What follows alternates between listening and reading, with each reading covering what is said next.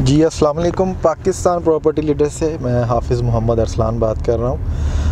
आज एक new projects जो कि अली ब्लॉक मर्शल पर लॉन्च हुआ है, उसके बारे में डिस्कस करेंगे और उसकी इन्फॉर्मेशन आपको देंगे, उसकी सराउंडिंग वगैरह और उसका डिस्टेंस वगैरह आपको सबको सब कुछ डिस्कस करेंगे आज।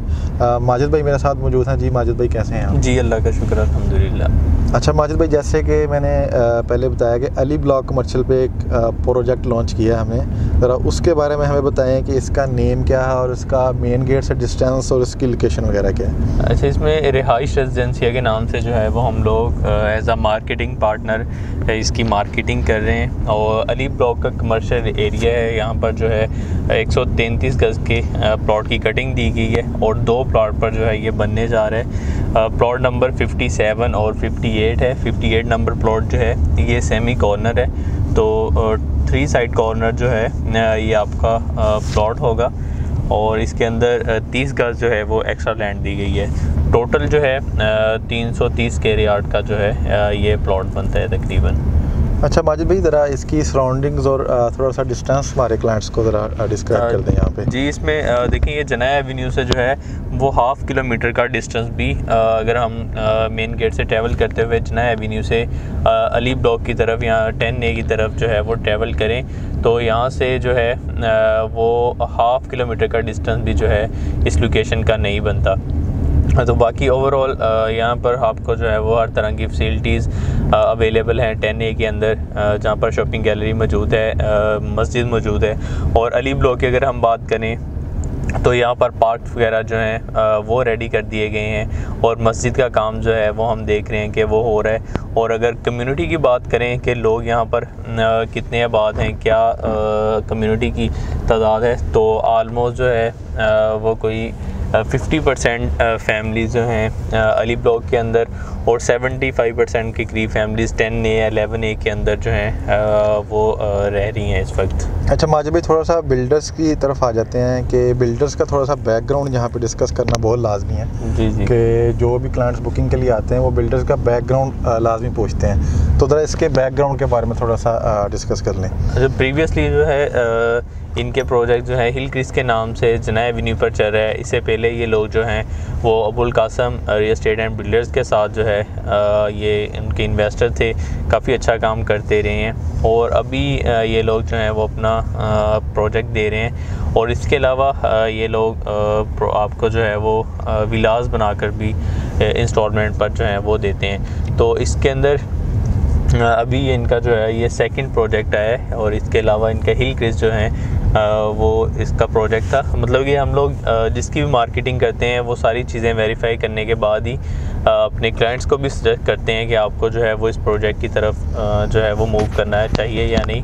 या इसके अलावा हमारे क्लाइंट्स की कॉल्स भी आती हैं कि मार्केट के अंदर ये प्रोजेक्ट चल रहे हैं, ये अथेंटिक है या नहीं। तब भी हम जो है वो अपने क्लाइंट्स को इसके अकॉर्डिंगली जो है वो गाइड करते हैं। अच्छा मजहबी सा आप सबसे इम्पोर्टेंट बात पे आ जाते हैं रेट्स रेट्स किसी भी चीज़ में सबसे अहम होते हैं. बिल्कुल तो अब ज़रा इसके रेट्स के बारे में और क्या इन्होंने यहाँ पे साइजेस वगैरह दिए हैं? वन बेड या टू बेड जो भी इसमें है तो इसके बारे में थोड़ा सा अच्छा इसके अंदर एक वन बेड अपार्टमेंट आएगा और दो तीन जो हैं वो थ्री टू बेड अपार्टमेंट होंगे एक फ्लोर पे. टोटल जो हैं वो चार अपार्टमेंट जो हैं वो इसके अंदर आते हैं. अभी ये फैंस जो है वो आपको नज़र आ रही होगी. ये इस प्लॉट की जो है वो लोकेशन आती है इर्द गिर्द अरसान भाई, इसमें देखें तो आपका जो है वो फायर स्टेशन आ गया। फिर उसके अलावा ग्रैंड मस्जिद हो गई। ये सारी चीज़ें जो हैं वो इसके इर्द गिर्द आ रही हैं। क्लॉक टावर का व्यू जो है, वो आपको देखने को मिलेगा। बात कर रहे थे हम लोग साइज़ की तो यहाँ पर जो है वो वन बेड का साइज़ जो है one eighty five eighty five है। फिर सिक्स सिक्सटी फाइव जो है, वो टू बेड का है।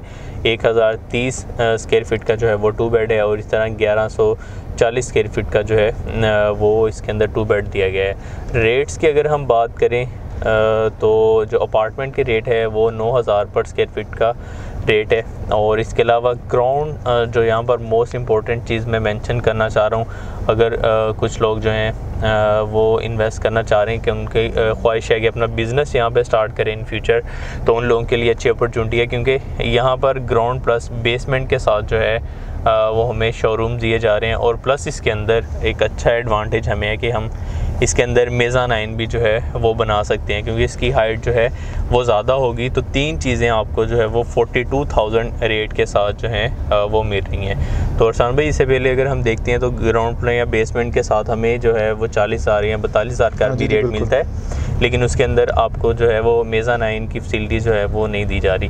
तो एक अच्छी चीज़ है, इसके अंदर की हमें ये तीनों चीज़ें इतनी लो लोएस्ट रेट पर जो है वो इतनी अच्छी लोकेशन में मिल रही हैं। क्योंकि यहाँ पर अली ब्लॉक के जितने भी रेजिडेंट होंगे, ये सारे लोग मतलब ये टेन ए की तरफ़ जो है वो ट्रैवल नहीं करेंगे या अलेवन ए की तरफ़ नहीं जाएँगे, क्योंकि जब ये आबादी जो है, ये सारी चीज़ें डेवलप हो जाएँगी, आबाद हो जाएँगी तो फिर लोग जो है वो अपनी आसानी के लिए नियर टू लोकेशन पर जो है वो जाना पसंद हाँ करेंगे। जी माजिद भाई बिल्कुल ऐसे ही होगा। जी माजिद भाई बहुत बहुत शुक्रिया आपका। जी वीवर्स रिहाइश रेजिडेंशिया को लेके या ओवरऑल बहरा टाउन को लेके आपकी किसी भी किस्म की कोई भी क्यूरी है तो स्क्रीन पर दिए गए नंबरों पर आप रबता कर सकते हैं। इसी के साथ हमें इजाज़त दीजिए। अल्लाह हाफिज़।